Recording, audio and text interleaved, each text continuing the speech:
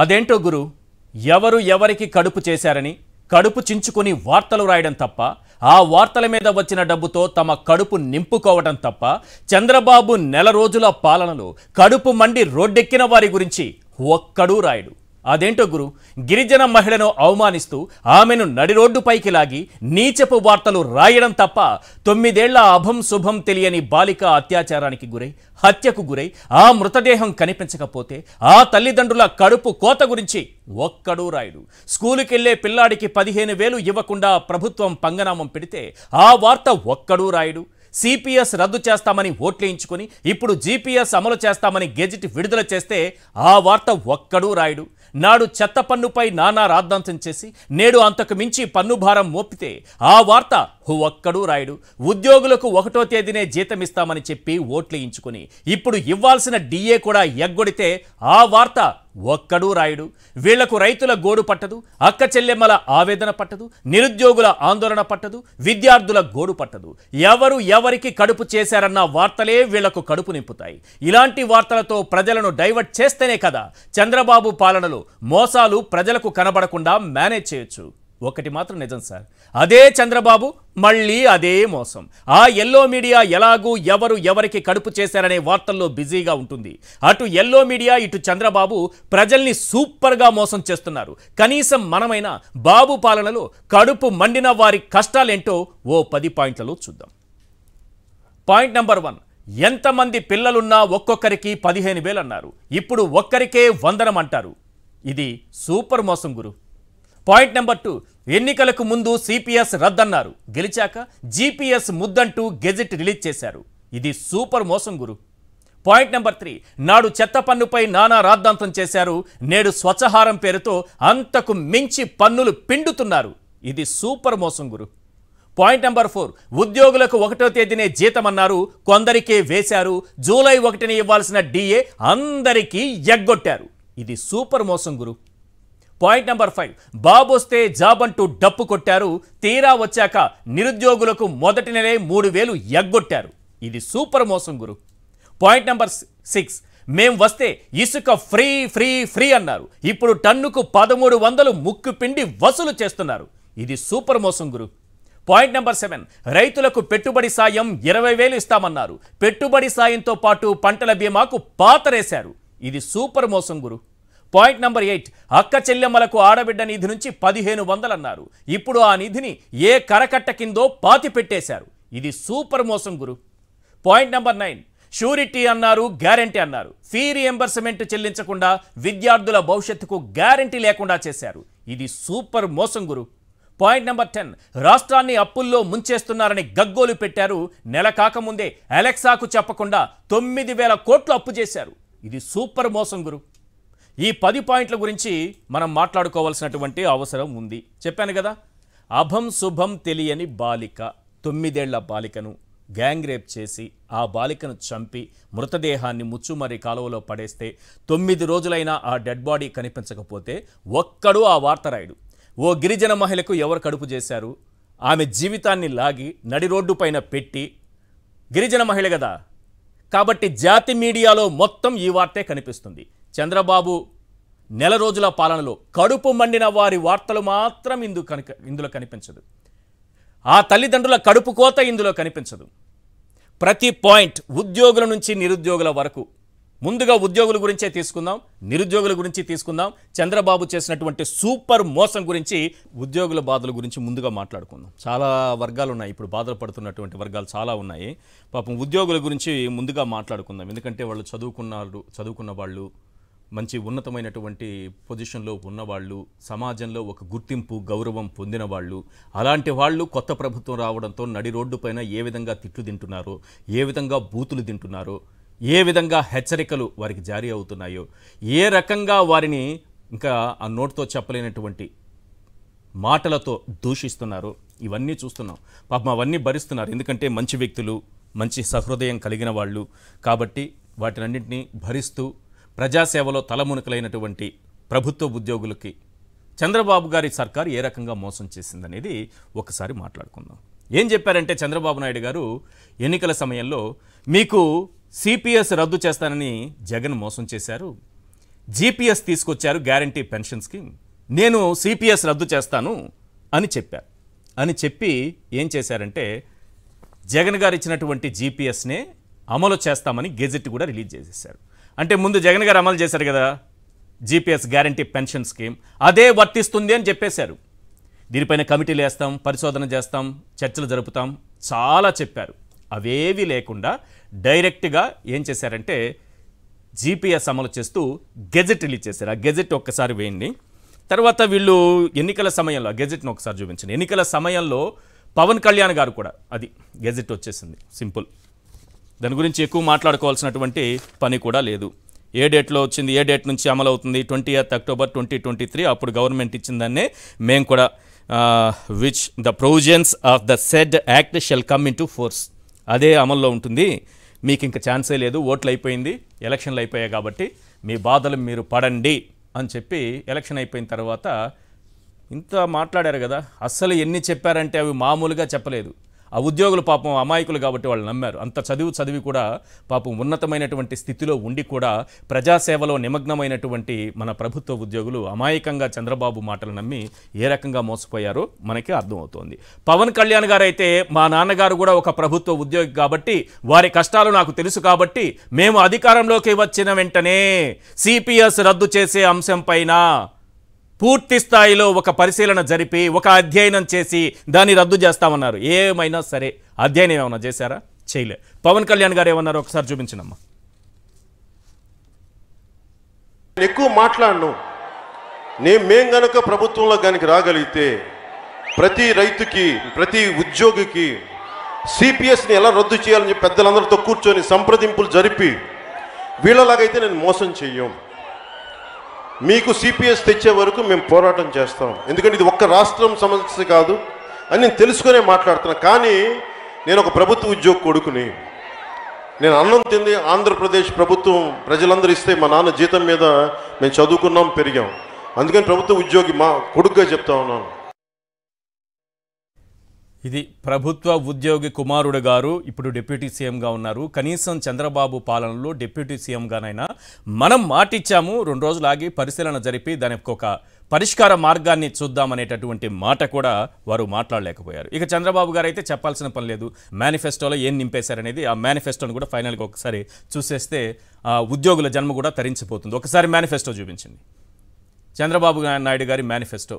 బా CPS GPS విధానాన్ని పునఃసమీక్షించి ఎక్కడ సమీక్షించారు? ఆమోదయోగ్యమైన పరిష్కారానికి కృషి చేస్తాం. ఎక్కడ ఆమోదం? ఎక్కడ పరిష్కారం? ఎక్కడ కృషి? ఏదీ చేయలేదు. ఏదీ చేయలేదు. ఉద్యోగులు పాపం జీపీఎస్ కోసం ఈ సిపిఎస్ రద్దు కోసం చాలా ఆందోళన చేస్తే రాష్ట్ర ప్రభుత్వం మెరుగైనటువంటి పెన్షన్ స్కీమ్ తీసుకురావాలని జీపీఎస్ అనేటటువంటి విధానాన్ని తీసుకొచ్చిన కొందరు వ్యతిరేకించారు.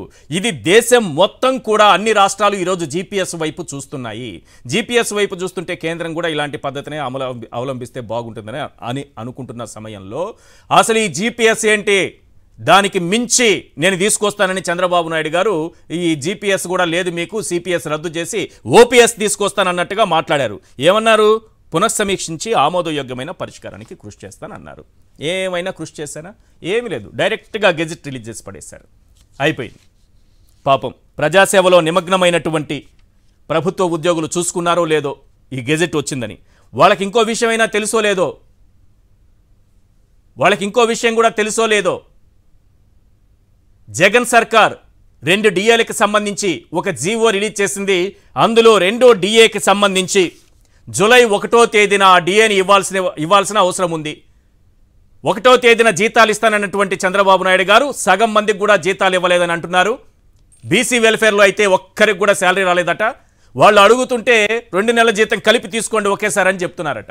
ఈ వార్తలు ఏవి బయటకు రావు. మనకు కావాల్సింది ఎవరు ఎవరికి కడుపు చేశారు? ఆ కడుపు కారణం ఎవరు? ఇవి రాష్ట్ర ప్రజలకు కావాలి రాష్ట్ర ప్రభుత్వ ఉద్యోగులకు కావాలి లేకపోతే తల్లులకు కావాలి లేకపోతే రైతులకు కావాలి లేకపోతే మత్స్యకారులకు కావాలి లేకపోతే విద్యార్థులకు కావాలి. ఇవే చూపిస్తూ ఉంటారు వాళ్ళు. మిమ్మల్ని డైవర్ట్ చేస్తూ ఉంటారు. దయచేసి డైవర్ట్ కాకండి. ఏం చెప్పి అధికారంలోకి వచ్చింది ఈ ప్రభుత్వం? ఇప్పుడు చేస్తోంది అంటే ఒక్కసారి పరిశీలించండి. ఎందుకు మిమ్మల్ని డైవర్ట్ చేస్తున్నారు? ఒక గిరిజన మహిళ జీవితాన్ని తీసుకొచ్చి నడి రోడ్డు పైన పెట్టి అదే వార్త అన్నట్టు ఈరోజు రాష్ట్రం అంతా రుద్దుతుంటే మనమంతా కళ్ళప్పగించి నోరెళ్ళబెట్టి ఆ వార్తలు చూస్తున్నాం మన దరిద్రం కాకపోతే. ఇలాంటివి కదా చూడాల్సింది.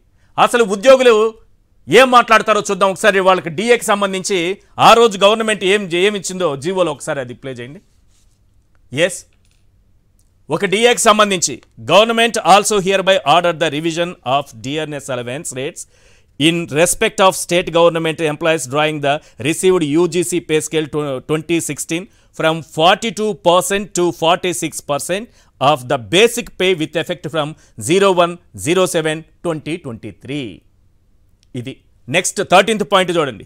The DNS allowance sanction in the above paras shall be paid in cash with salary of July twenty twenty four payable in August twenty twenty four the arrears and account of payment of DNS allowance for the period of from zero one zero seven twenty twenty three to thirty zero six twenty twenty four shall be paid in three equal instalments in the month of September twenty twenty four December twenty twenty four and March twenty twenty five మొదట చెప్పింది ఏంటంటే ఒకటో తేదీనే వాళ్ళకి నాలుగు శాతం పెరిగినటువంటి డిఏని అమలు చేస్తూ వాళ్ళకి జీతాలు ఇవ్వాలి. ఇవ్వకపోయినా మనం ఎవ్వరు నోరు మెదపొద్దు. సైలెంట్గా కూర్చుందాం. మనకు వార్తలు ఉన్నాయి కదా? గిరిజన మహిళకు కడుపైనటువంటి వార్త ఉంది కదా? అది చూసి కడుపు నింపుకుందాం. ఇక్కడేముంది ఇంకా? హెరియర్స్ కింద ఏం చేయాలి? మూడు ఇన్స్టాల్మెంట్స్లో వాళ్ళకి ఇవ్వాలి. సెప్టెంబర్లో ట్వంటీ ట్వంటీ ఫోర్లో ఒక ఇన్స్టాల్మెంట్ ఇవ్వాలి. డిసెంబర్ ట్వంటీ ట్వంటీ ఫోర్లో ఇంకొక ఇన్స్టాల్మెంట్ ఇవ్వాలి. మార్చ్ ట్వంటీ ట్వంటీ ఫైవ్లో ఇంకో ఇన్స్టాల్మెంట్ ఇవ్వాలి. ఒక్కరైనా నోరు మెదుపుతున్నారా? ఈ వార్తల వైపు చూస్తున్నారా? నిరుద్యోగులకు మూడు వేల రూపాయల నిరుద్యోగ భృతిస్తానని చంద్రబాబు ప్రామిస్ చేశారు ఇప్పటి వరకు ఆ నిరుద్యోగులు ఎప్పుడు మూడు వేల రూపాయలు వస్తాయని ఎదురు చూస్తున్నారు. నేనైతే ఒక ఇరవై లక్షల మంది ఉన్నారనుకుంటున్నాను. మళ్ళీ చూద్దాం వైఎస్ఆర్సీపీ నాయకులు కూడా ఇక్కడ ఉన్నారు కదా వారు ఏం చెప్తారు ఎంతమందికి మోసం చేశారనేది వారితో మాట్లాడి తెలుసుకుందాం. కారుమూరి వెంకటరెడ్డి గారు వైఎస్ఆర్సీపీ జాయింట్ సెక్రటరీ మనతో పాటు ఇక్కడ ఉన్నారు లైవ్లో. అలాగే రామ్నాథ్ గారు సీనియర్ అనలిస్ట్ ఇక కోటంరాజు వెంకటేష్ శర్మ గారు హైకోర్టు అడ్వకేట్ మనకు లైవ్లో అందుబాటులో ఉన్నారు. ఎస్ కారుమూరి వెంకటరెడ్డి గారు. ఉద్యోగులకు సంబంధించి ఇన్ని రకాల మోసాలు ఒకటైతే జీతం అన్నారు. అన్ని అన్ని డిపార్ట్మెంట్లకి ఇప్పటి వరకు శాలరీ రాలేదు. తర్వాత డిఏ విషయం వాళ్ళు అడగలేదా? చంద్రబాబు నాయుడు గారు మర్చిపోయారా? వాళ్ళే మర్చిపోయారా? అసలు ఉద్యోగులే మర్చిపోయారా? ఏమైపోయింది? ఆ డిఏ విషయం అసలు ఎవరికి ఎవరికి పట్టట్లేదు. నిరుద్యోగుల గురించి ఎవరు పట్టించుకోరు.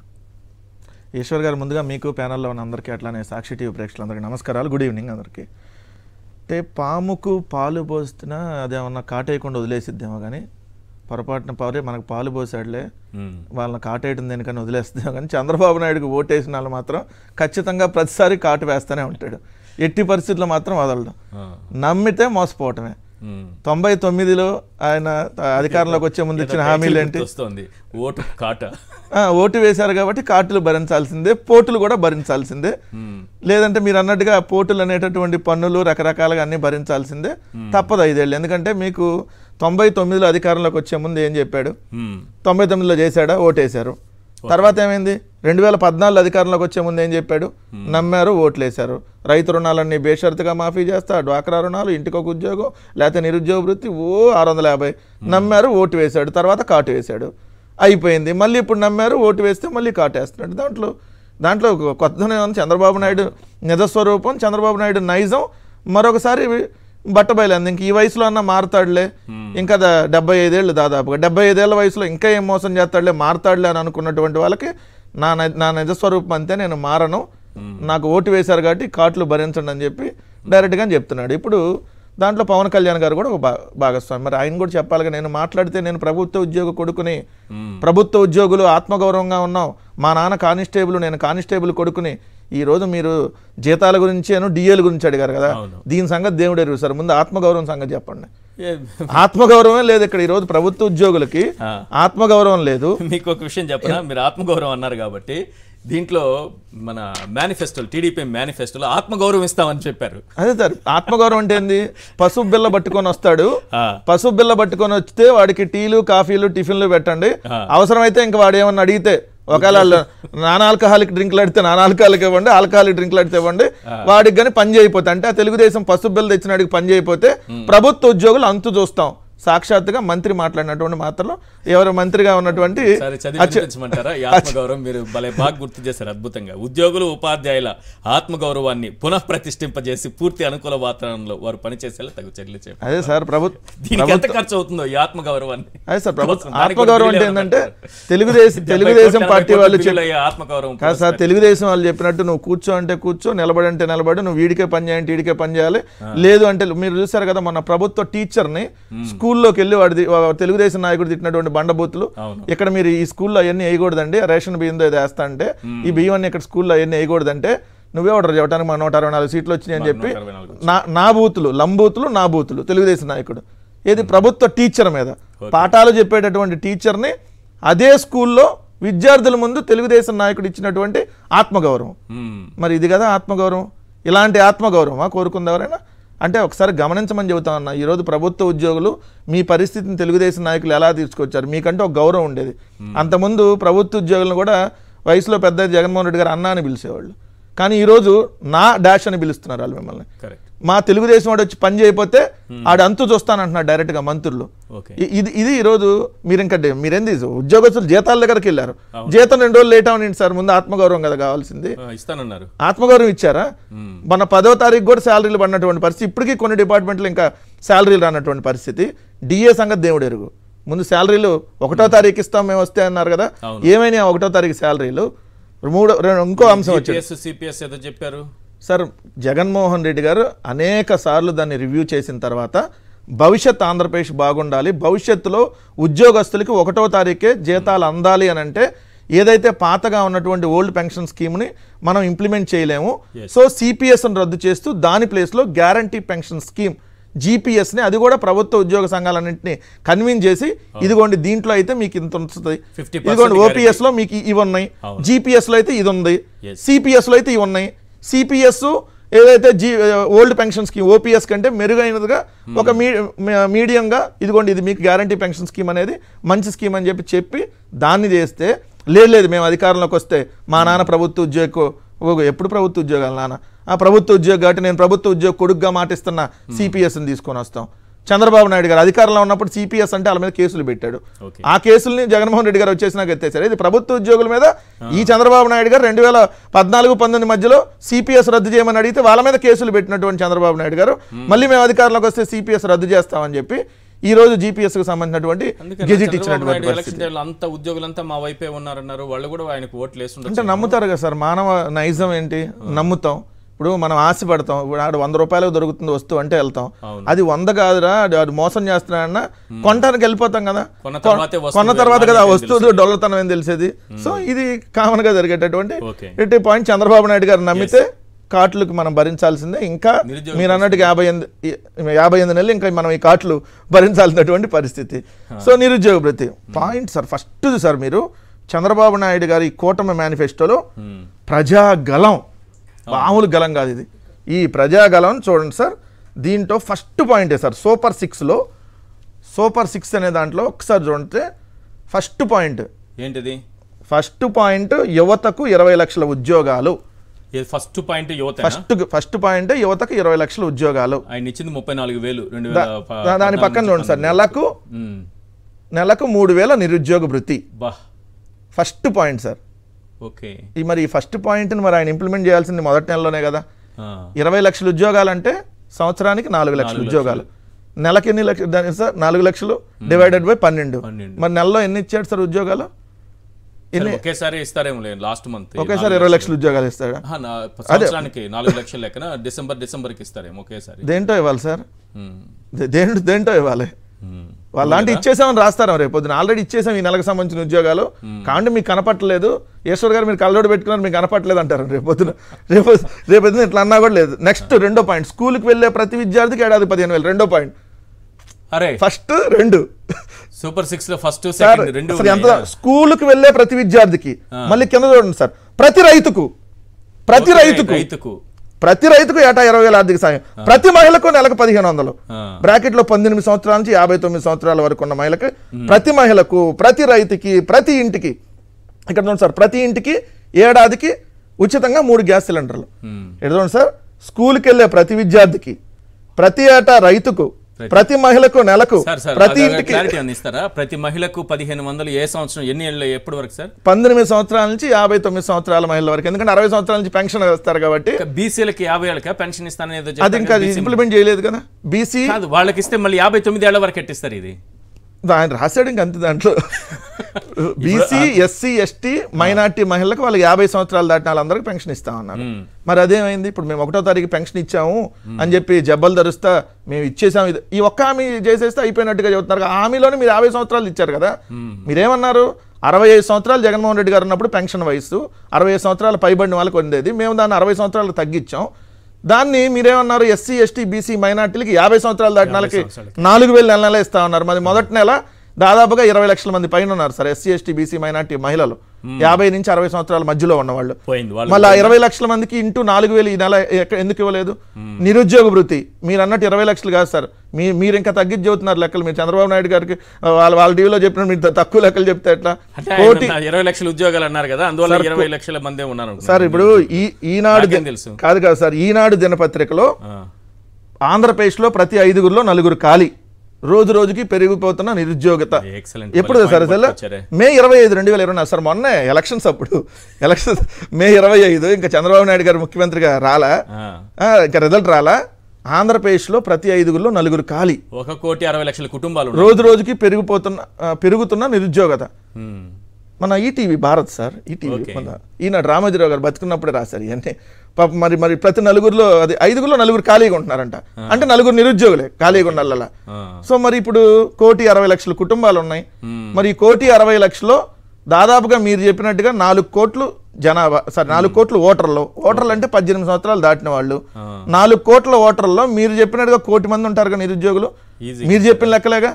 మేము రెండు వేల పంతొమ్మిదిలో సచివాలయ ఉద్యోగాలకు సంబంధించి లక్షా ముప్పై వేల శాశ్వత సచివాలయ ఉద్యోగాలకి నోటిఫికేషన్ ఇస్తే ఏపీపీఎస్సీ ద్వారా పంతొమ్మిదిన్నర లక్షల మంది రాశారండి. అంటే దాదాపు ఇరవై లక్షల మందికి ఒక ఎగ్జామ్కి రాశారు ఆ రోజు. ఉమ్. సో మరి ఇప్పుడు మీరు అన్నట్టుగా కోటి మంది నిరుద్యోగులు మీ దృష్టిలో మరి కోటి మందికి ఎప్పుడు ఇస్తారు? ఇంటూ నిరుద్యోగ వృత్తి మూడు వేల రూపాయల నిరుద్యోగ వృత్తి ఎప్పుడు ఇస్తారు? అమ్మకు వందనం అని చెప్పి నాన్నకి వందనం అయితే నడుస్తూనే ఉంది కానీ అమ్మకి అమ్మకి వందనం అని చెప్పి అమ్మల్ని కూడా మోసం చేశారు. అమ్మలని పిల్లలని ఆఖరికి ఏ వర్గాన్ని మీరు మోసం చేయలే? ఈ ముప్పై ఈ ముప్పై ఐదు రోజులు మీ పరిపాలనలో నరకం చూస్తుంది సార్ ఆంధ్రప్రదేశ్. ఆంధ్రప్రదేశ్లో ఎందుకు పుట్టావరా అని చెప్పి ఈరోజు ఈరోజు బాధపడేటట్టుగా మీ పరిపాలన నడుస్తూ ఉంది. ఓ ఏ వర్గాన్ని నన్ను వదులుతున్నారు సార్? తొమ్మిదేళ్ళ బాలిక. సార్ అమ్మాయిని అత్యాచారం చేసి హత్య చేస్తే ఆదివారం జరిగింది సార్. నిన్న ఆదివారం ఇవాళ సోమవారం అంటే ఒక వారం దాటిపోయి ఇవాళ తొమ్మిది రోజులు అయితే ఇప్పటికీ మీరు శవాన్ని పట్టుకోలేరనంటే ఏమయ్యారు డిప్యూటీ సీఎం గారు? ఏమయ్యారు మహిళా హోంమంత్రి గారు? ఆ రోజు మీరు మాట్లాడిన మాటలేంది? ఒక అమ్మాయిని ఒక అమ్మాయిని అమ్మాయి శవం మీరు వాళ్ళ తల్లిదండ్రులు అడుగుతున్నారు. శవం చూపిస్తే దహనం చేసుకుంటామని సార్. ఇంతకంటే దౌర్భాగ్య పరిస్థితి ఏ తల్లిదండ్రుల కన్నా ఈ దేశంలో అసలు ఈ ప్రపంచంలో వస్తుందా? అయ్యా నా కూతురు చచ్చిపోయింది శవం ఎతికి పెట్టండి దహన సంస్కారాలు చేసుకుంటాం శవం ఎతికి పెట్టండి అని చెప్పి తల్లిదండ్రులు అడుగుతుంటే మీరు కడుపుకు అన్నం తింటున్నారా ఇంకేమన్నా తింటున్నారా? ఏమయ్యారు ముఖ్యమంత్రి గారు? ఏమయ్యారు డిప్యూటీ సీఎం గారు? ఏమయ్యారు మహిళా హోంమంత్రి గారు? ఒక ఆడపిల్ల తొమ్మిదేళ్ళ ఆడపిల్ల ఆడపిల్ల శవం అడుగుతున్నారు వాళ్ళ తల్లిదండ్రులు. కూతుర్ని అత్యాచారం చేశారు సార్ కనీసం శవాన్ని చూపించమని అడుగుతా ఉంటే ఈరోజు శ్వేతపత్రాలు అని చెప్పి సొల్లు కబుర్లు చెప్తా జగన్మోహన్ రెడ్డి గారి ప్రభుత్వం మీద ఐదేళ్ళ పాటు విమర్శలు చేయడానికి ఇది అదే. లేదంటే అమ్మాని పెళ్ళికల్లో డ్యాన్స్ వేయడానికి వెళ్ళారా? ఈరోజు రాష్ట్రంలో రోజుకొక రేపు. రోజుకొక రేపు జరుగుతుంది. రోజుకొకరి మీద దాడులు జరుగుతా ఉన్నాయి. ఎక్కడ ఏ నియోజకవర్గంలో చూసినా దాడులు. ఏ ఉద్యోగం మీద చూసినా దాడులు. ఎక్కడికక్కడ జరుగుతూ ఉంటే కనీసం మానవత్వం లేదా? అనిత గారు మీరు మహిళ కదా. హోంమంత్రి గారు మానవత్వం లేదా? ఆ పిల్లని తీసుకురండి సార్. శవం అడుగుతున్నారు తల్లిదండ్రులు. ఆ శవాన్ని దహన సంస్కారాలు చేసుకుంటా ఉంటున్నారు. ఆఖరి చూపన్నా చూపించమన్నారు అసలు. ఆ శవం ఉందా లేదా? ఏమన్నా అయిందా అని అడుగుతున్నారు సార్. ఒక ఒక వాల్మీకి సంబంధించినటువంటి వాల్మీకి బోయికి సంబంధించినటువంటి ఆడపిల్ల తొమ్మిదేళ్ళ పిల్లని తీసుకురాలనేటువంటి పరిస్థితిలో మీరుండి ఈరోజు ఎంత దారుణంగా సార్ నేను వెళ్ళి తైతక్కలాడతారు వెళ్ళొచ్చు మీరు కాదంటలా. ఏమైంది? పది రోజుల నుంచి నోరు ఎందుకు మెదపట్లేదు? ముఖ్యమంత్రి చంద్రబాబు నాయుడు గారిని అడుగుతా ఉన్నా. ఏమైనా మన ఇంట్లో పిల్లలకు జరిగితే ఇట్లానే పది రోజుల పాటు మనం అసలు అన్నం అన్నం తింటామా సార్? అన్న నిద్రాహారాలు మారి అక్కడ తల్లిదండ్రులు అందరూ ఊరు ఊరు మొత్తం కూడా ఈరోజు మా పిల్లని ఎతికి పెట్టండి ఆ పిల్లని చూస్తాం. ఆ పిల్ల శవన్నా ఉందా? అసలు ఏమన్నా లేకపోతే మొత్తం కాల్ చేసి బూడిది చేశారని అడుగుతుంటే ఇంత దయనీయ స్థితిలో ఈరోజు రాష్ట్రం ఉంటే ఈరోజు ఇంతకంతకంటే నీచు ఇంకోటి సార్. ఈ ఈ రాష్ట్రంలో ఇలాంటి ప్రభుత్వంని ఎన్నుకున్నందుకు నిజంగా కూడా ప్రజలు ఈరోజు సిగ్గుతో తలదించుకోవాల్సినటువంటి పరిస్థితి తీసుకొని వచ్చారు. దయచేసి ఇప్పుడు కూడా అడుగుతున్నాం. మేము సాక్షిలో అడిగామని కాదు బాబు. దయచేసి ఆ పిల్లని ఆ తల్లిదండ్రులకు తీసుకురండి. ఆ కడుపు కోత ఆ- కన్నటువంటి తల్లిదండ్రులకు తెలిసిద్ది మీకేం తెలిసిద్ది పైన కూర్చున్న వాళ్ళకి. సో దయచేసి ముందు ఆ అమ్మాయిని ఎతకమని ఎతికి అమ్మాయిని తీసుకురమ్మని అడుగుతా ఉన్నాం. శవం అడుగుతున్నారు సార్ వాళ్ళు. ఎటు పది రోజులు ఆయన చనిపోయి ఉంటుంది అది ఫిక్స్డ్. సో వాళ్ళు కూడా శవం అడుగుతున్నారు దాన సంస్కారాలు చేసుకుంటారు పట్టదు సార్. మీరు అన్నట్టుగా బోయ ఇక్కడ వెనుకబడిన వర్గం బాలిక కడుపు కోత ఇది పట్టదు. ఒక గిరిజన మహిళ మన జాతి కాదు కదా గిరిజన మహిళ అంటే మన జాతి కాదు కాబట్టి ఆమె కడుపు ఎవరు చేశారు? ఈ వార్తలు వేసుకుంటూ ఆమె వీటిని నా చూపించుకుంటూ- ఆమె ఇది కూడా నేను పలానా వాళ్ళని పెళ్ళి చేసుకున్నాను అండి నాకు నన్ను దయచేసి ఇట్లా అనండి నాకు తండ్రి లాంటి వ్యక్తి అని అంటే ఈ వార్త చూపించలేదా? సార్ మొన్న యూట్యూబర్. ఎవరో హనుమంత్ ఎవరో ఒక యూట్యూబర్. తండ్రికి కూతురికి ఎలాంటి సంబంధాలుగా మాట్లాడాడో ఈ రోజు తెలుగులో ఉన్నటువంటి ఆ జాతి మీడియాలో కూర్చున్నటువంటి మొత్తం వాళ్ళు తండ్రి రిలేషన్ లాగా. ఉన్నదాన్ని కూడా తప్పుడు సంబంధాలుగా చిత్రీకరిస్తున్నారంటే ఇంకా వాళ్ళకి వీళ్ళకి తేడా ఏమన్నా సార్? అతను అరెస్ట్ చేశారు. ఎందుకంటే ఇక్కడ ప్రభుత్వంలో ఆయన ఎవరు ట్వీట్ పెట్టాడని. మరి ఇప్పుడు వీళ్ళందరిని ఎవరు అరెస్ట్ చేయాలి? అగ్రకుల దురహంకారం గిరిజన మహిళపైన చూపిస్తున్నారు. చూపించండి పర్లేదు పాపాలు పండాలిగా. ఎస్ మీరు చెప్పండి సార్ రామ్నాథ్ గారు. ఏంటి ఉద్యోగస్తుల పరిస్థితి ఏంటి? పాపం వాళ్ళు ఉన్నత చదువులు చదివి ఉన్నతమైనటువంటి పొజిషన్లో ఉండి ప్రజాసేవలో నిమగ్నము ఉండి సమాజంలో ఒక గుర్తింపు గౌరవం పొంది ఉన్నటువంటి వారిని ఈ రకంగా చంద్రబాబు నాయుడు గారు ఓట్లు వేయించుకుని మోసం చేసిన తీరుపైన ఏం చెప్తారు? ఈశ్వర్ గారు ఈ జిపిఎస్కు సంబంధించి గెజెట్ వచ్చినప్పుడు ఈనాడు పత్రికలో రాశారు. మాకేమీ తెలియదు చంద్రబాబు నాయుడుకి అస్సలు తెలియదు అన్నట్టుగా రాశారు. ఏం రాశారు? పోతూ పోతూ జిపిఎస్ ఫైల్ పైన సంతకం అని పెట్టేసి జగన్మోహన్ రెడ్డి హయాంలో పనిచేసిన ఆర్థిక శాఖ ప్రత్యేక ప్రధాన కార్యదర్శి రావత్ వెళ్తూ వెళ్తూ జూన్ పన్నెండున రాజీనామా సంతకం చేసి ఫైల్ మీద సెలవు మీద వెళ్ళిపోయారు. అవును. దానికి సంబంధించి జీవో ఆధారంగానే ఈ శుక్రవారం గెజిట్ వచ్చింది అని ఈనాడులో రాశారు. ఓకే. అంటే ఇప్పటికీ కూడా జగన్మోహన్ రెడ్డి ప్రభుత్వం మీద తుపాకీ పెట్టి కాల్చడానికి ఉద్యోగుల్ని సిద్ధమయ్యారన్నది స్పష్టంగా అర్థం ఒకవేళ గత నెల పన్నెండో తేదీన రావత్ గారు సంతకం చేసే వెళ్ళి ఉంటే ఓకే. గెజిట్ వచ్చే వరకు తెలియదండి ఇదే చిన్న అంశమా? రాష్ట్ర ఉద్యోగులందరికీ సంబంధించిన విషయం మీద ఒక గెజిట్ వస్తూ ఉంటే మాకు తెలియదు ఆ రోజు రావత్ సంతకం చేసి వెళ్ళారు దాని ఆధారంగా ఈ రోజు గెజిట్ వచ్చేసింది అని ఒక ప్రధాన పత్రిక రాస్తూ ఉంది అంటే దీన్ని ఏమనాలి? ఉద్యోగుల ఆత్మగౌరవం గురించి కూడా మాట్లాడుకోవాల్సి వస్తే సింపుల్ అండి. పవన్ కళ్యాణ్ గారి చాంబర్కి ఒక సిఐ షూ వేసుకొని వెళ్ళారు. యూనిఫామ్లో అది భాగం సాయంత్రానికి బదిలీ చేసేసి మరుసటి రోజు పత్రికల్లో గర్వంగా రాయించుకున్నారు. ఒక సిఐ పవన్ కళ్యాణ్ గారి చాంబర్కి షూ వేసుకొని వచ్చారు. అందుకు సాయంత్రానికి బదిలీ అయిపోయారు. అంటే యూనిఫామ్లో ఉన్నప్పుడు అది వేసుకొని రావడం సహజం. మొన్న ఒక ఎంఆర్ఓ గారిని అడిగానండి ఏంటి ఇప్పుడు అచ్చెన్నాయుడు ఇలా అంటున్నారు కదా అంటే ఆయన చెప్పిన ఒపీనియన్ ఏంటంటే మీకు కొత్తగా అనిపించచ్చేమో కానీ ఈ ఎక్స్పీరియన్స్ మాకు చాలా పాతది. గతంలో రెండు వేల పద్నాలుగు నుండి రెండు వేల పంతొమ్మిది వరకు తెలుగుదేశం పార్టీ అధికారంలో ఉన్నప్పుడు కూడా తెలుగుదేశం పార్టీ కార్యకర్తలు డైరెక్ట్గా ఎంఆర్ఓ కార్యాలయానికి వచ్చి మా ఎదురుగా మేము ఇంకా చెప్పగానే కూర్చొని పలానా పని చేసి పెట్టండి సార్ మేము తెలుగుదేశం పార్టీ కార్యకర్తలం అనేవాళ్ళు. కానీ అలాంటి పరిస్థితులు అయితే రెండు వేల పంతొమ్మిది నుంచి ఇరవై నాలుగు వరకు మేము వైసీపీ వాళ్ళ నుంచి చూడలేదు. ఇప్పుడు మళ్ళీ తెలుగుదేశం పార్టీ హయాంలో చూడబోతున్నాం అని ఆయన చెప్పారు. దాంతో పాటు జిపిఎస్కు సంబంధించి జగన్మోహన్ రెడ్డి గారు చాలా క్లియర్గా చెప్పారు. నేను చేయగలిగే వ్యక్తిని అయితే తప్పకుండా మీకు చేసి ఉండేవాడిని. కానీ ఓల్డ్ పింఛన్ స్కీమ్ తీసుకొని వస్తే ఇంకో పదేళ్ళు ఇరవై ఏళ్ళ తర్వాత అయినా కూడా వ్యవస్థ కూలిపోతుంది. రెండు వేల మూడులో ఎలాగైతే మొత్తం స్కీమ్ని ఎత్తేయాల్సి వచ్చిందో అలాంటి పరిస్థితి వస్తుంది. రెండు వేల నలభై నాటికి ఓల్డ్ పింఛన్ స్కీమ్ అప్లై చేస్తే ఉద్యోగుల పింఛన్లు జీతాలు తప్పనిసరిగా ఖర్చు చేయాల్సిన వ్యయం మొత్తం కలిపి రాష్ట్ర సొంత రాబడిలో నూట ఎనభై ఒక్క శాతానికి వెళ్ళిపోతుంది. ఆ తర్వాత ఎవరు ఏం చేయడానికి ఉండదు. మళ్ళా రెండు వేల రెండు వేల మూడులో లాగా మొత్తం స్కీమ్ ఎగిరిపోయినట్టుగా ఎగిరిపోతుంది. కాబట్టి దానికి తోడు ఇంకో విషయం చెప్పారు. సిపిఎస్తో మీకు న్యాయం జరగదు. అది కూడా ఒప్పుకుంటున్నాం. కానీ సిపిఎస్ కంటే డెబ్బై శాతం అధికంగా మీకు ప్రయోజనాలు కలిగేలాగా ఆఖరి జీతంలో యాభై శాతం వచ్చేలాగా పింఛన్ స్కీమ్ తెస్తామని చెప్పారు. ఇప్పుడు ఎక్కడ తెలుగుదేశం పార్టీ ఎక్కడ ఆడు- వాడుకుంటోంది వైసీపీ విధానాన్ని సక్సెస్ఫుల్గా అంటే జగన్మోహన్ రెడ్డి ఒక విధానాన్ని నూతనంగా తెచ్చినప్పుడు దాని పరిణామాలు లాభాలు నష్టాలు ఎలా ఉంటాయనేది టైం పడుతుంది తెలుసుకోవడానికి. ఆ టైం కూడా ఇవ్వకుండా జగన్మోహన్ రెడ్డి తెచ్చిన విధాన విధానాలన్నీ. ఒక తప్పుడు విధానాలు మమ్మల్ని గెలిపించండి ఇవన్నీ సెటరేట్ చేస్తామని చెప్పుకుంటూ వచ్చారు. ఈ రోజు తీరా ఏం చేశారు? రావత్ సంతకం పెట్టారు కాబట్టి గెజిట్ వచ్చింది అంటున్నారు.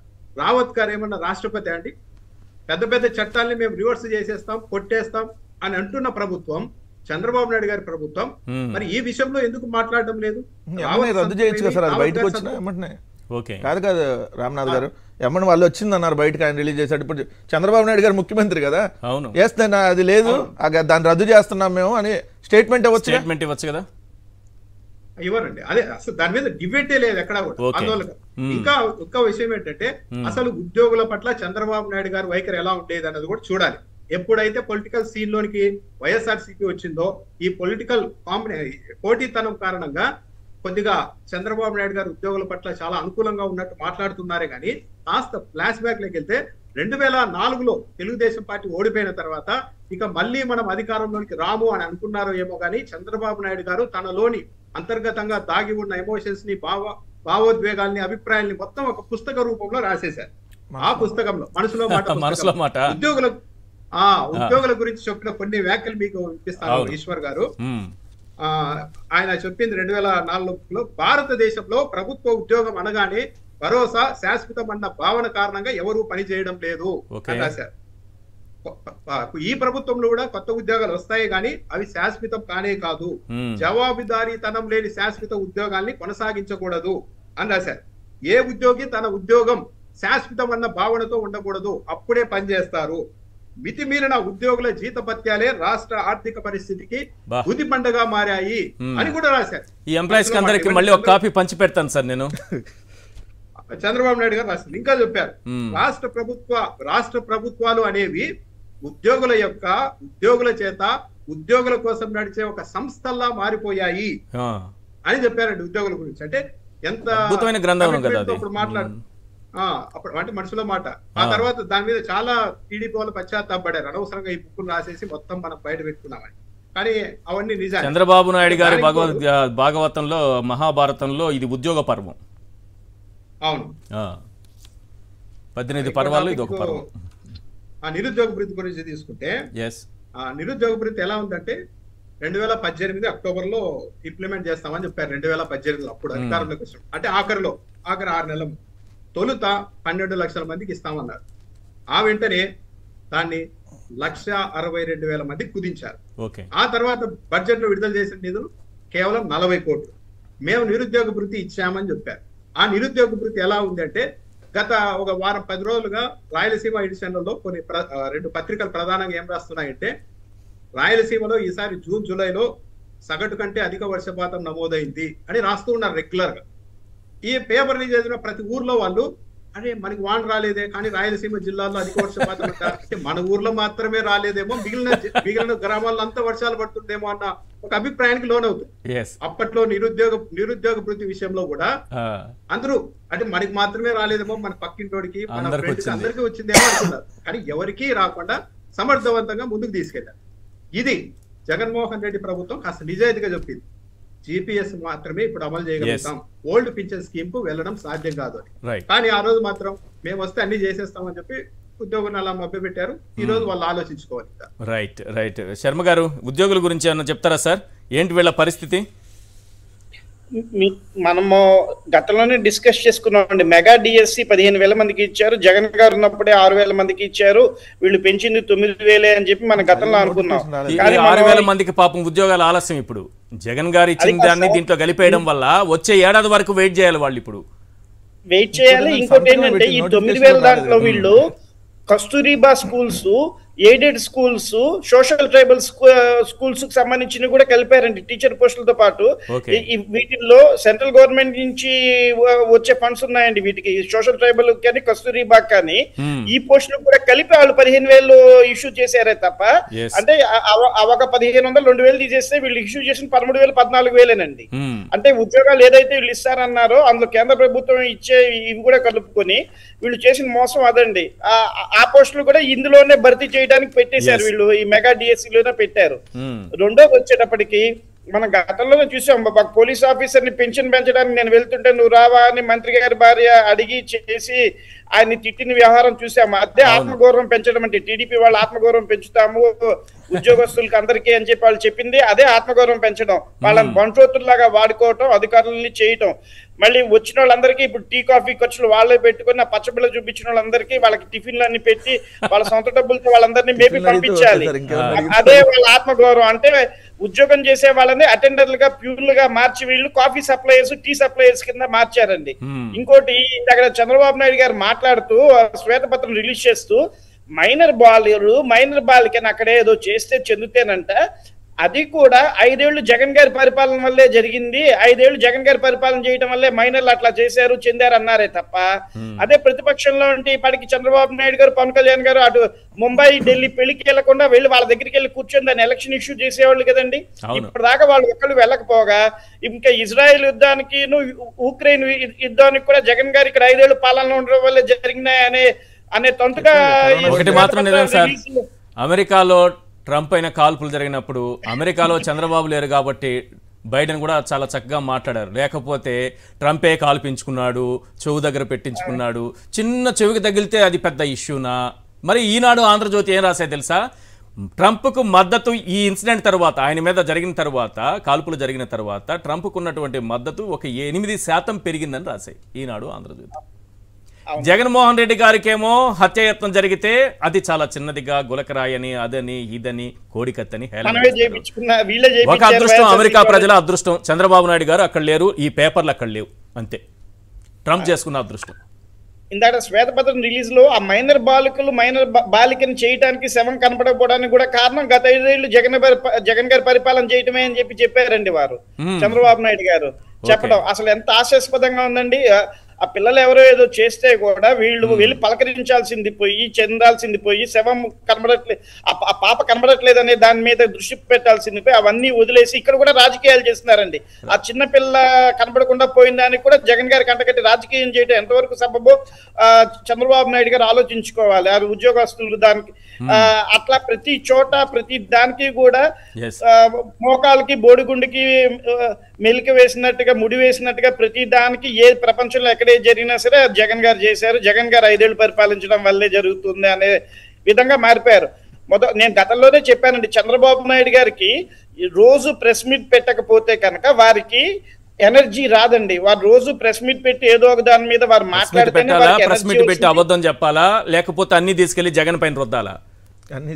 మీరు నేను అయితే కనుక టిఫినో కాఫీనో పాలో భోజనమో చేస్తామండి. చంద్రబాబు నాయుడు గారికి ప్రతిరోజు ప్రెస్ మీట్ కావాలి. ఆ ప్రెస్ మీట్లో జగన్ గారిని తిట్టడమే కావాలండి. నేను నేను జోక్గా చెప్పట్లేదు నేను చాలా సీరియస్ గానే చెప్తున్నానండి ఇది. మీరు గత నుంచి చూస్తే ఇప్పుడు కూడా వారు అదే చేస్తున్నారు తప్ప జరిగింది జరిగినట్టుగా చెప్పకుండా ప్రతి దానికి ఎక్కువ మంది కూర్చొని వాళ్ళందరికీ లెక్చర్ టీచర్ ఇప్పుడు వీళ్ళు ఆ గిరిజన మహిళ జీవితాన్ని బయట వేసి ఏ విధంగా అల్లరిపాలు చేయాలని చూస్తున్నారు? తొమ్మిదేళ్ళ బాలిక విషయంలో రాయండి అయ్యా బాబు ప్రభుత్వం అదే దాని ఈశ్వర్ గారు ఆ. తొమ్మిదేళ్ళ బాలిక గురించి చర్చలు పెట్టొచ్చు కదండి. ఆ తొమ్మిదేళ్ళ బాలిక తప్పిపోవడానికి వీళ్ళు పెళ్ళికి వెళ్ళారనే దానికి చర్చలు పెట్టకుండా అక్కడ గిరిజన మహిళ ప్రెగ్నెన్సీ ఆ బిడ్డ గురించి అదేనా నేషనల్ ఇష్యూనా స్టేట్ ఇష్యూనా అండి? దాని గురించి మాట్లాడుతున్నారు తప్ప ఆ చిన్నపిల్ల తప్పిపోయింది యంత్రాంగం ఏం చేస్తుంది ఎందుకు దొరకట్లేదని ఒక్క మీడియాలో వాళ్ళ దాంట్లో రాదండి చర్చలు- ఎవరైనా ఆడపిల్ల వైపు కన్నెత్తి చూస్తే అని పవన్ కళ్యాణ్ గారు ఆ రోజు గట్టిగా అరిచి మరి ఓట్లు వేయించుకున్నారు కదా ఇప్పుడు తొమ్మిది రోజులు అయిందండి మరి తొమ్మిది రోజులు అయింది ఇప్పటికి. తొమ్మిది రోజులు అయినా సరే. కనీసం ఎవరు వెళ్ళలేదు. పొద్దున వైఎస్ఆర్సీపీ వాళ్ళే పార్టీ వాళ్ళు ఎవరైనా. చేస్తుంటే వాళ్ళని వెళ్ళనివ్వట్లేదు. మరి కమ్యూనిస్టులే మాట్లాడట్లేదు. బీజేపీ వాళ్ళు ఏం మాట్లాడట్లేదు చెయ్యట్లేదు. అంటే ఇట్లా నేరాలు ఘోరాలు జరుగుతూ ఉన్నా సరే వాళ్ళు ఎవరు బీజేపీ అధ్యక్షురాలు మహిళ సార్ వీళ్ళెవరు బయటకు రారు సార్. ఈ కమ్యూనిస్టుల విషయం ఏంటో నాకు తెలియదు వాళ్ళ గురించి పెద్దగా నేను మాట్లాడాలని అనుకోవట్లేదు. వాళ్ళు సందర్భాన్ని బట్టి ఉంటారు. ఎస్ మీరు చెప్పండి సార్ ఇదేంటి ఇది? ప- చెత్త పన్ను గురించి చాలా చెత్తగా మాట్లాడి మీ ప్రభుత్వం గురించి చెత్త చెత్తగా తిట్టి చెత్త మాటలు మాట్లాడి మళ్ళీ అదే చెత్త గురించి చెత్త పన్ను వేసుకుంటూ చాలా గొప్పదన్నట్టుగా రాసుకుంటూ వస్తున్నారు. పిఠాపురంలోనే ఎక్కడో కాదు పిఠాపురంలోనే మీరు మీరు మీ గవర్నమెంట్లో ఉన్న దానికంటే ఎక్కువ వసూలు చేస్తున్నారు.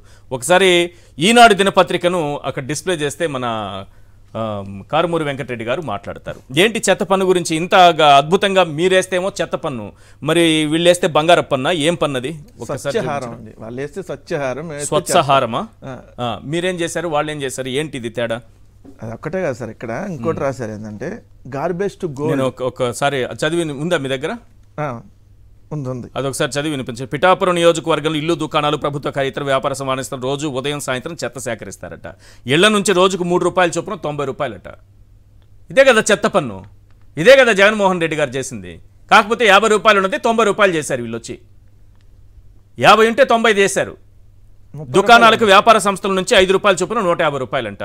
కేంద్ర రాష్ట్ర ప్రభుత్వ కార్యాలయం నుంచి రోజుకు ఇరవై రూపాయల చొప్పున ఆరు వందల రూపాయలు వసూలు చేస్తారట. కేంద్ర ప్రభుత్వం పథకంలో భాగంగా ఇది చేస్తే జగన్మోహన్ రెడ్డి గారు ఏమో చెత్త పన్ను వేశారట. మరి పవన్ కళ్యాణ్ గారు వేసింది చెత్త పన్నా?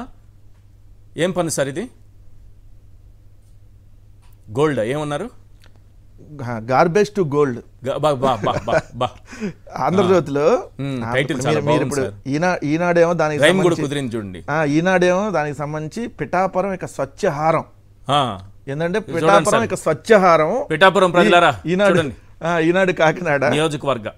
ఉమ్, ఇక్కడేమో గార్బేజ్ టు గోల్డ్ గ్రామంలో చెత్తను సేకరిస్తున్న పంచాయతీ పారిశుద్ధ్య సిబ్బంది కింద ఫోటో ప్రదర్శన తిలకిస్తున్న Pawan Kalyan. Garbage to gold అనమాట ఇప్పుడు. అంటే మన దగ్గర చెత్త పన్ను వసూలు చేయడం వల్ల వాళ్ళ బ్యాటర్లో ఒకటి వాస్తవం రాశారు సార్. అది కూడా మీకు వినిపిస్తాను. గార్బేజ్ టు గోల్డ్ అనమాట. పవన్ కళ్యాణ్ గారు ఇప్పుడు చెత్త పన్ను వేయటం వల్ల ఇప్పుడు అంతా ఆ చెత్త నుంచి బంగారం తీయటానికి మనం మన మన డబ్బులన్నీ ఉపయోగిస్తున్నట్టుగా వాళ్ళ ఆర్టికల్ ఉద్దేశం. దీంట్లో స్థానిక సంస్థల బలోపేతం దిశగా. చెత్తతో సంపద సృష్టించి దాని ద్వారా స్థానిక సంస్థలను బలోపేతం చేయాలన్న సంకల్పం దిశగా తొలి అడుగులు పడుతున్నాయి. ఈ రాష్ట్ర ఉప ముఖ్యమంత్రి పవన్ కళ్యాణ్ ఈ విషయాన్ని ప్రతిష్టాత్మకంగా తీసుకున్నారు. ఏది? చెత్త మీద పన్నేసేదాన్ని ప్రతిష్టాత్మకం. ప్రతిష్టాత్మకంగా తీసుకున్నాడు. సంపద సృష్టించి గ్రామ పంచాయతీలకు ఆదాయం సమకూర్చేలా కార్యాచరణ సిద్ధం చేస్తున్నారు. దీన్ని గార్బేజ్ టు గోల్డ్గా గార్బేజ్ టు గోల్డ్గా వ్యవహరించున్నారు. అంటే చెత్త టు బంగారంగా వ్యవహరించున్నారండి ఈ పథకం పేరు. అంటే విజయవాడలో ఇది పన్నెండేళ్ళ క్రితమే మొదలు పెట్టారండి విజయవాడలో ఇది పన్నెండేళ్ళ క్రితమే మొదలు సార్ మేము హైదరాబాద్లో అందరం కడుతున్నాం సార్. ఇక్కడ హైదరాబాద్లో అందరూ పన్ను పన్ను. కడితేనే ఇది- రెండు వేల- ఇంధనమును దాని పనికొచ్చే విధంగా దాన్ని ప్రాసెస్ చేసి దాన్ని వాడటం గురించి నేను చెప్పేది. చెత్త. అవుట్పుట్ తీసుకొచ్చి ప్రాసెస్ చేసి దాన్ని. ఉపయోగకరంగా వాడే దాని గురించి పన్నెండేళ్ళ క్రితమే ఇక్కడ చెత్త మీద. పన్నుకు సంబంధించి చంద్రబాబు నాయుడు గారు రెండు వేల పదిహేనులో అధికారంలో ఉన్నటువంటి సమయంలో కేంద్ర రాష్ట్ర ప్రభుత్వాలు చెత్త మీద పన్ను విధించిన దానికి సంబంధించి చూడండి మేము. అప్పుడు గుంటూరులో చెత్త యోధ ఛార్జీలపై కేంద్ర రాష్ట్ర ప్రభుత్వాలకు రెండు వేల పదిహేనులో విడుదల చేసిన జీవో కాపీలు. అని రెండు వేల పదిహేను జూలై ఇరవై ఏడున ఇచ్చిన ఉత్తర్వుల్లో కేంద్రం స్పష్టంగా ప్రతి నెల ప్రజల నుంచి వసూలు చేయాలని స్పష్టం చేసింది. ఆ వెను వెంటనే ఆగస్టు పంతొమ్మిదిన రాష్ట్రంలోని అప్పటి టీడీపీ ప్రభుత్వం కూడా చెత్త సేకరణపై వినియోగ ఛార్జీల వసూలుకు మెమో జారీ చేసింది. Memo number municipal administrative urban development విభాగం ఈ మెమో నెంబర్ ముప్పై ఆరు ఐదు వందల డెబ్బై తొమ్మిది బై బీ టూ బై రెండు వేల పదిహేను. ఇది మెమో నెంబర్ అంటే రెండు వేల పదిహేనులోనే చెత్తకు సంబంధించినటువంటి చెత్త పన్నులు రెండు వేల పదిహేను నుంచి ఆంధ్రప్రదేశ్ రాష్ట్ర వ్యాప్తంగా అమల్లో ఉన్నాయి. సో ఇది కొత్తగా వచ్చినటువంటిది కాదు. కానీ డౌట్ క్లియర్ జగన్ చేస్తారా? మీరు హైదరాబాద్లో ఉంటారు కదా? మీరు కడుతున్నారు ఇక్కడ. అందరు కట్టాల్సింది. చంద్రబాబు నాయుడు గారు హైదరాబాద్లో ఉంటారు ఆయన కడతాడు కట్టాలి పవన్ కళ్యాణ్ హైదరాబాద్లో ఉంటారు ఆయన కడతారా? కానీ చెత్త రాధాకృష్ణ గారు హైదరాబాద్లో ఉంటారు ఆయన కట్టాల్సిందేనా? చెత్త పన్ను సార్ రామోజీరావు గారు హైదరాబాద్ గుట్టల్లో ఉన్నారు ఇన్ని రోజులు ఆయన కూడా కట్టాల్సిందేనా? ఎవరైనా గుట్టల్లో చెత్త పారిపోయడానికి లేదా? సార్ ఎక్ ఎక్కడైనా ఇది ఏది ఇంట్ ఇళ్ళలకు సంబంధించో లేదంటే షాపులకు సంబంధించో కార్యాలయాలకు సంబంధించో ఒక్కొక్క రకంగా అక్కడ ఉన్నటువంటి మున్సిపాలిటీయో లేదంటే అక్కడ ఉన్నటువంటి కార్పొరేషనో నిర్ణయం తీసుకొని ఇదిగో ఇంత ఇంత ఛార్జెస్ అని వేస్తారు. సో ఇది రెండు వేల పదిహేను నుంచి ఉంది. కానీ జగన్మోహన్ రెడ్డి గారు వచ్చినాక చెత్త పన్ను వేశాడు అని చెప్పి అయ్యన్న పాత్రుడు మరి ఈరోజు చెత్త పన్ను వేసినాన్ని చెత్త నా డాష్ ముఖ్యమంత్రి చెత్త నా డాష్ ఉప ముఖ్యమంత్రి అని మరి ఆపాదించి మాట్లాడగలరా? ఎందుకంటే మీరు ఎందుకు చెత్త పన్ను వేస్తున్నారు మరి? మీరు మీరు మేనిఫెస్టోలో పెట్టారు సార్. ఏమని పెట్టారు అది కూడా చెత్త పన్ను ఇదిగోండి. దాంట్లో మేనిఫెస్టోలో చెత్త పన్ను తీసేస్తాం. చెత్త పన్ను రద్దు ఇంటి పన్నుల సమీక్ష. బా. ఇదిగోండి సార్ చెత్త పన్ను రద్దు ఇంటి పన్నులు కూడా సమీక్ష. అంటే నాకు తెలిసి ఇప్పుడు ఇంటి పన్నులు సమీక్ష చేసి ఇంకా పెంచుతారు. పెంచుతారు. దానికి అర్థం అదే కదా. చెత్త పన్ను రద్దు చేయ రద్దు చేయకుండా పోయింది. తీసేస్తారు మౌలిక మౌలిక వసతులన్నీ రివర్సే కదా రివర్సే కదా చెత్త పన్ను రద్దు. మరి చెత్త పన్ను రద్దు చేయలేదు. రద్దు చేయకపోగా ఇప్పుడు తొంభై రూపాయలు జగన్మోహన్ రెడ్డి గారు ఉన్నప్పుడు ముప్పై రూపాయలు సార్ కొన్ని చోట్ల అయితే. ఇప్పుడు సోషల్ మీడియాలో ఒక ట్రోల్ అవుతుంది. జగన్మోహన్ రెడ్డి గారు ఒక పార్టీ కదా అధికారంలోకి వచ్చింది ముప్పై వేశాడు ఇప్పుడు మూడు పార్టీలు కాబట్టి మూడు ముప్పై తొంభై రూపాయలు వేశారు. మూడు ముప్పై ముప్పై ముప్పై ప్లస్ తొంభై వేశారని చెప్పి వేశారు. దాంట్లో మళ్ళీ పత్రికల్లో కూడా నెలకు మూడు కోట్లు చెత్త పన్ను ద్వారా ఆదాయం వస్తుంది ఆదాయం వస్తుంది. అంటే పిఠాపురం ప్రజలకు పవన్ కళ్యాణ్ ఎన్నుకున్నందుకు పిఠాపురం నియోజకవర్గ ప్రజలకు నూట ఎనభై కోట్లు ఫైన్ వేశాడు పవన్ కళ్యాణ్. నెలకు మూడు కోట్లు అరవై నెలలు. అవును. సో అరవై ఇంటూ మూడు కోట్లు. ఫైన్. నూట ఎనభై కోట్లు అది ఇంకా పెరిగిద్ది తప్ప తగ్గదు. కదా. అవును. సో మూడు కోట్ల రూపాయల ఆదాయం అని రాశారు. అంటే ఇప్పుడు వీళ్ళు సంపద సృష్టిస్తారంటే ఏంటంటే చెత్త మీద పన్ను వేస్తే దాని ద్వారా సంపద సృష్టిస్తాం. దాని ద్వారా వచ్చే ఆదాయం. లేదంటే రేపొద్దున మనుషులు రోడ్ల మీద తిరుగుతున్నారు కదా సార్. దానికి హ్యూమన్ ట్యాక్స్ అనేవి వేస్తారేమో. రోడ్ల మీద మీకు మనుషులు తిరగడానికి లేదు. ఓన్లీ వెహికల్స్ అయితే ట్యాక్సులు కడుతున్నాయి కాబట్టి వెహికల్స్ అయితే ట్యాక్సులు కడుతున్నారు కాబట్టి మనుషులు రోడ్డు మీద తిరగాలన్నా రేపొద్దున ట్యాక్సులు వసూలు చేస్తారేమో. ఎందుకంటే దానికి ఏమన్నా ఏంటి ఏదైనా కొత్త పథకం పేరు ఏమైనా పెడతారేమో. పెట్టి మనుషులు రోడ్ల మీద ఎట్లా తిరుగుతారండి? రోడ్ల మీద ఉంది వాహనాలు తిరగటానికి కదా. మనుషులు తిరగటానికి లేదు. మనుషులు తిరగాలి అని అంటే ఇదిగోండి వెహికల్స్ కట్టిన ట్యాక్సులు మీరు కూడా మీరు ఫుట్పాత్ మీద నడవాలన్నా ట్యాక్సులు కట్టాలని చెప్పి హ్యూమన్ ట్యాక్స్ అనే ఏదన్నా కొంత కొత్త ట్యాక్సులు కూడా రానున్న రోజుల్లో వచ్చినా కూడా ఆశ్చర్యం లేదు. ఇంకో ఇంకొక అంశం వచ్చేటప్పటికి వీళ్ళు ఇప్పుడు ఈ ఈ ఈ ట్యాక్సులకు సంబంధించిన దాంట్లో. ఈ పత్రికలు సార్ మొన్నటిదాకా చెత్త పన్ను అని రాసిన వాళ్ళు ఇప్పుడు టైటిల్ మార్చేశారు. స్వచ్ఛ ఆంధ్ర స్వచ్ఛ ఆంధ్ర. స్వచ్ఛ పిఠాపురం స్వచ్ఛ అమరావతి రేపొద్దున. అంటే ఈ స్వచ్ఛంగా ఉండటం కోసం చేస్తున్నారు. ఈ. డబ్బులు. తీసుకుంటున్నారు. నాలుగు రోజులు పోతే అసలు ప్రజలు చెత్త పన్ను కడతానికి ఎగబడి లైన్లో నిలబడి మేము వచ్చి కడతామని రాస్తున్నారు. జగన్మోహన్ రెడ్డి గారు ఉన్నప్పుడేమో చెత్త పన్ను వస్తే వాళ్ళు మేము కట్టమని చెప్పి ఇంటి దగ్గర ఆ, ఇంటి ఎదురుగా వాళ్ళందరినీ పంపించేశారని రాసేవాళ్ళు ఇప్పుడు ఆ పత్రికలు రూట్ మార్చారుగా చెత్త నుంచి గోల్డ్ అంట అందుకని పన్ను అంట. చెత్త నుంచి హారాలు మీరు చేసి గో- అందరికి సార్, పంచుతారు ఇప్పుడు. చెత్త నుంచి మీరు గోల్డ్ గోల్డ్ తయారు చేస్తే-. ప్రజల నుంచి ఎందుకు డబ్బులు వసూలు చేయడం? చంద్రహారాలు తయారు చేస్తారు ఇప్పుడు రైట్. రామనాథ్ గారు ఏంటి సార్ ఇది? చెత్త పన్ను చెత్త పన్ను చెత్త ప్రభుత్వం అని ప్రచారం చేసి చేసి ఈ చెత్త పన్ను తీసేస్తామని చెప్పి ఒక చెత్త నిర్ణయం ఏదో జరిగినట్టుగా ఈరోజు ఈనాడు ఈరోజు అంటే నిన్న నిన్న మొన్న ఈనాడు దినపత్రిక పిఠాపురంకి సంబంధించి పదమూడవ తారీఖున.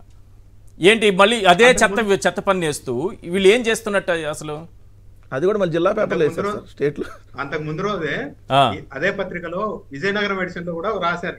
ఓకే. అక్కడ ఏం రాశారంటే జగన్మోహన్ రెడ్డి ప్రభుత్వం తెచ్చిన చెత్త పన్ను నుంచి ప్రజలకు విముక్తి అంటూ రాసి కొన్ని ఎగ్జాంపుల్ రాశారు. పార్వతీపురంలో జగన్మోహన్ రెడ్డి ప్రభుత్వం ఒక ఇంటి నుండి యాభై రూపాయలు. వాణిజ్య సముదాయాల నుంచి నూట పది నుంచి నూట ఇరవై రూపాయలు వసూలు చేసేదని రాశారు పార్వతీపురం. ఓకే. పిఠాపురంకి వచ్చేసరికి మాత్రం రోజుకు మూడు రూపాయలు తొంభై రూపాయలు అయింది. పార్వతీపురంలో గత ప్రభుత్వం యాభై రూపాయలు వసూలు చేస్తే పిఠాపురంలో తొంభై రూపాయలు అయింది. వాణిజ్య సముదాయాల నుండి నూట యాభై రూపాయలకి పెరిగింది. ఇక కేంద్ర రాష్ట్ర ప్రభుత్వ కార్యాలయం నుంచి అయితే ఆరు వందలు వసూలు చేస్తామని చెప్పారు. అంటే నెలకు మూడు కోట్ల రూపాయలు.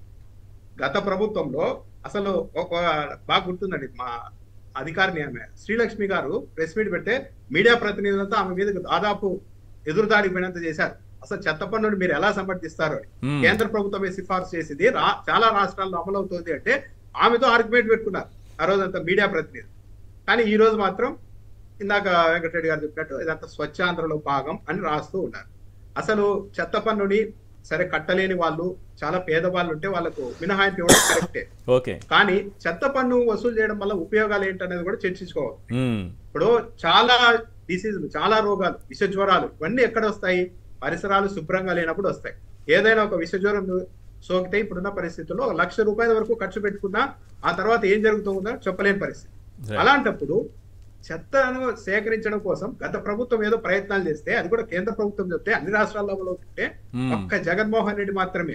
చెత్త ముఖ్యమంత్రి చెత్త పనులు వేశారు చెత్త ముఖ్యమంత్రి అని మాట్లాడితే ఇప్పుడు గౌరవప్రదమైన పొజిషన్లో ఉన్న మరో నాయకుడు తెలుగుదేశం పార్టీ నాయకుడు నా కొడుకులు అంటూ మాట్లాడారు. అవును. అంటే ఏంటి? మొత్తం మనం అధికారంలోకి వచ్చాము. జగన్మోహన్ రెడ్డి నుంచి అధికారం లాక్కోవడం కోసం ప్రతిదీ జగన్మోహన్ రెడ్డి మంచి చేసినా ఏది చేసినా చెడు అని చిత్రీకరించారు. ఇప్పుడు వన్స్ పవర్ లేకి వచ్చారు ఇక్కడ గమనించాల్సింది ఏంటంటే జగన్మోహన్ రెడ్డి ప్రభుత్వం ప్రజలకు చేయాల్సినంత తన శక్తి మేర చేస్తూ వచ్చింది. శక్తికి మించి చేస్తూ వచ్చింది.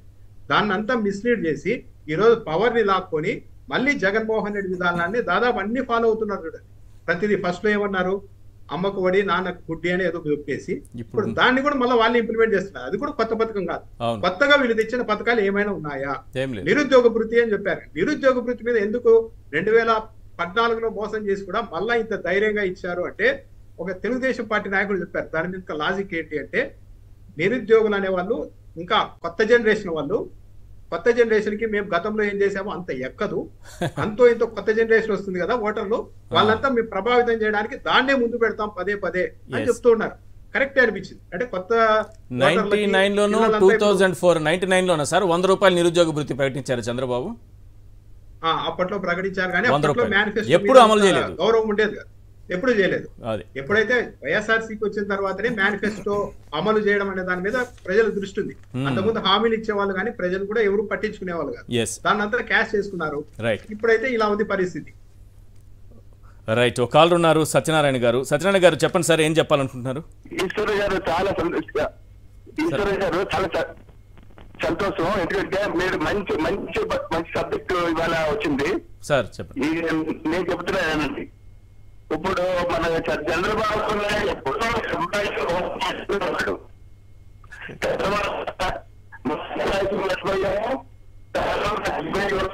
మీ ఆడియో క్లియర్గా లేదు sir. Phone speaker phone phone స్పీ- స్పీకర్లో స్పీకర్ ఆన్ చేస్తుందా? ఒకసారి చెక్ చేసుకోండి.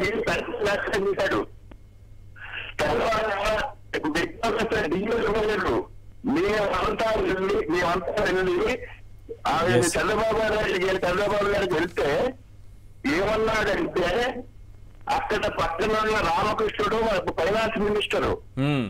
మేము అవసరం ఇచ్చే పరిస్థితి లేదు మేము అవసరం అవుతే మేము అవసరం దిగిపోతాం కానీ మేము ప్రభుత్వం దిగిపోతాం మీకు చెప్తే కథాస్తవాన్ని పెట్టి వచ్చేసాం మ్మ్. వచ్చేసిన తర్వాత వెంటనే రాజశేఖర రెడ్డి గారు వచ్చారు. రాజశేఖర రెడ్డి గారు ఏం చేశారంటే వ్యక్తిగతంగా రిలీజ్ చేశారు అందరికీ పేదలు చాలా కుటుంబాలు చాలా చనిపోయారు చాలా మంది ఆ టైంలో తర్వాత ఇదే ఇష్యూని ఇదే ఇష్యూని నేను రెండు వేల పద్నాలుగు ముందు మళ్ళీ చంద్రబాబు నాయుడు గారికి అక్కడే రామకృష్ణుడు ఉంటే ఈ రామకృష్ణ గారి వల్ల మాకు మాకు మాకు అన్ని ఎన్నికలు వచ్చాయి కూడా మళ్ళీ చూపిస్తాం మేము. ఈ విషయాలన్నీ కూడా మీరు బహిర్గతంగా ఇప్పుడు మాట్లాడాలి అందరితో ఆ డిబేటర్స్తో మాట్లాడాలి మీరు. Yes thank you thank you sir thank you కొంచెం క్లారిటీ మిస్ అయింది ఆడియో రైట్ ఆ, శర్మ గారు ప్లీజ్ చెప్పండి. ఈ చెత్త పని గురించి ఏం చెప్తారు? చెత్త పనులు అసలు మేనిఫెస్టోలో ఉన్నవన్నీ కూడా ఏది అమలు పరచడని అన్ని జగన్ గారి దానికన్నా డబల్ చేస్తారని ముందే ప్ర- ఆంధ్రప్రదేశ్ ప్రజలందరూ డిసైడ్ అయిపోయి ఉండటము సమంజసం అని అది కరెక్ట్ అని చెప్పి నేను చెప్తున్నాను రెండోది వచ్చేటప్పటికి. ఏదైతే తల్లి దీవెనది అన్నారో అది ఎప్పటి నుంచి ఇస్తాము ఏంటనేది ఎక్కడా ప్రకటించలేదండి లేదు. ఎవరైతే బిలో పావర్టీ లైన్ ఉన్నారో వాళ్ళని గుర్తించండి అన్నారు మరి ఎప్పుడు గుర్తిస్తారు ఎప్పుడు ఇస్తారు చేస్తారు అనేది ఎక్కడ మాట్లాడలేదు. ఇప్పుడు రోజుకి ఒక శ్వేతపత్రం ఒక డిపార్ట్మెంట్ మీద రిలీజ్ చేసే బదులు ఒక్కో సూపర్ సిక్స్లో ఒక్కో పథకం నేను పలానా రోజు నుంచి చేస్తాను ఇట్లా చేస్తాను చెందుతాను అని ముందు వాటి మీద మేనిఫెస్టో మీద సూపర్ సిక్స్ రిలీజ్ చేయొచ్చు కదండి ఇతను శ్వేతపత్రాలు రిలీజ్ చేసే బదులు మేనిఫెస్టో ఎప్పటి నుంచి అమలు చేస్తాను రోజుకి ఒక దాని మీద ఒక అంశం మీద ముందుకెళ్ళాలి. మళ్ళీ ఈ రోజు పవన్ కళ్యాణ్ గారు జనసేన మీటింగ్లో మాట్లాడుతూ ఏమన్నారంటే మోడీ గారిని ఏదన్నా అడిగే అవకాశం వస్తే వీలుంటే స్టీల్ ప్లాంట్ని ప్రైవేటీకరణ చేయిస్తే చేయకుండా ఉండే అవకాశం ఏదైనా ఉందేమో అడుగుతాను నేను అని అన్నారే తప్ప ప్రైవేటీకరణ చేయకుండా ఉంచుతానన్న మాట లేదు. వీలుంటే మోడీ గారిని ప్రైవేటీకరణ చేయకుండా ఉంటాను. ఉండడానికి అవకాశం ఉందే అని అడుగుతాను ఐదు కోట్ల ప్రజలు తరపున అడుగుతారు. అన్నారు. అంటే. ప్రైవేటీకరణ అయిపోవడానికి రెడీగా ఉంది అని చెప్పేసి ఆయన చెప్పకనే ఆయన మాటల్లో చెప్పారండి. రైట్ ఇంకోటి వాళ్ళ ఎంపీలు వాళ్ళ ఎంపీలని మీరు మీరు మోడీ గారిని నిలదీయొద్దు. మనం మోడీ గారికి అండగా ఉండాల్సిన సమయం. మోడీ గారిని నిలదీయొద్దు అని చెప్తున్నాడు డైరెక్ట్గా సో డ- ఇంకోటి తెలుగుదేశం ప్రభుత్వం ఏం చేసినా కూడా జనసేనలు మాట్లాడదని కూడా చెప్పాడు మొన్న. ప్రెస్ నోట్ ఇచ్చారు ఆల్రెడీ ఎంత ప్రభుత్వ ఉద్యోగ కుమారుడైనా సరే ఉద్యోగులతో వైపున అయితే మాట్లాడే అవకాశం ఉండదు. చేస్తామని ఆ రోజుల్లో. పవన్ కళ్యాణ్ గారు ఈ రోజు ఈ మాట అంటాము. పవన్ కళ్యాణ్ గారు కూడా చంద్రబాబు జీవితంలో నాయుడు ఎమ్మెల్యే గారు లక్కీగా డిప్యూటీ సీఎం అయితే ఇంకా అది కోతి కొబ్బరి చెప్పి జరిగినట్టే కదా సార్? ఎందుకు ప్రశ్నిస్తాడు? అట్లాగా ప్రతి విషయంలో యూటర్న్ తీసుకుంటున్నారు చేస్తున్నారని చెప్పి భావిస్తున్నామండి. రైట్